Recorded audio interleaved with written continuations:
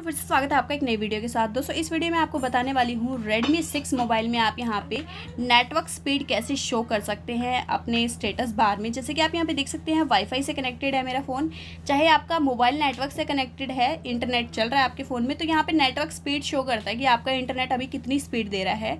तो या फिर चेक करने के लिए या फिर लगाने के लिए आपको क्या करना है, चले जाना है सेटिंग पे। सेटिंग पे जाने के बाद यहाँ पे आपको SIM card and mobile network का ऑप्शन देखने को मिलेगा। आपको इस पर क्लिक करना है। इसके बाद यहाँ पे आपको स्क्रॉल करना है और यहाँ पे आप जो सेट डेटा प्लान है, इस पर क्लिक करेंगे और इसके बाद यहाँ पे आप स्क्रॉल करेंगे तो आपको शो नेटवर्क स्पीड का ऑप्शन देखने को मिल जाएगा। आप इसे ऑन कर देंगे।